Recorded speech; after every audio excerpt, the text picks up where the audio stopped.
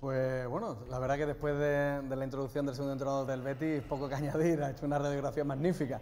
Pero nosotros intentamos humildemente llevarle pues tres, tres, yo creo, aspectos, ¿no? El estilo, los datos y algún jugador top. Sobre todo teniendo en cuenta eh, la competición en la que estamos, que es la Copa del Rey.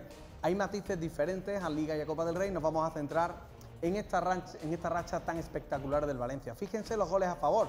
2-2 contra el Barcelona, 3-1 contra el Getafe, 3-0 contra el Villarreal. Es un equipo que tiene mucho gol, sobre todo la eficacia, que a principio de liga no fue así, ya lo reflejaba Marcelino en la rueda de prensa, y ahora está encontrando. ¿Desde dónde parte esta eficacia de este nuevo Valencia? Sobre todo de un 4-4-2 muy asimétrico, perfectamente eh, calibradas las distintas alturas, con laterales de larguísimo recorrido, nombre propio yo creo que Gallá en la parte izquierda es un puñal y un centro del campo creativo cuando tiene que serlo.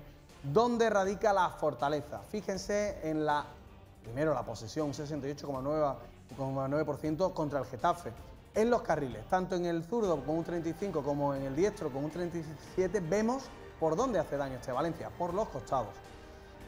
Automatismo, sobre todo la parte de arriba, fíjense cómo con Gallá está prácticamente la banda para él. Abajo con Piccini. Veremos si hoy se repite esto. Ahí, eh, ya lo ha dicho el Mister, tendremos a Junior en un lado y a Joaquín en otro. Va a ser un duelo individual de ida y vuelta. Y arriba un nombre propio, Rodrigo. Jugador eh, muy complementario con cualquiera de los otros puntos. Hoy sale con Mina, pero que tiene juego asociativo, que tiene finalización muy agresivo. Y aquí vemos en uno de los goles que metió contra el Getafe cómo este Valencia es capaz de llevar al rival de banda a banda, de costado a costado. No esperemos un Valencia encerrado atrás, ni mucho menos. ¿Algún punto débil? Contra el Barcelona, sobre todo ese hueco a la espalda de Piccini.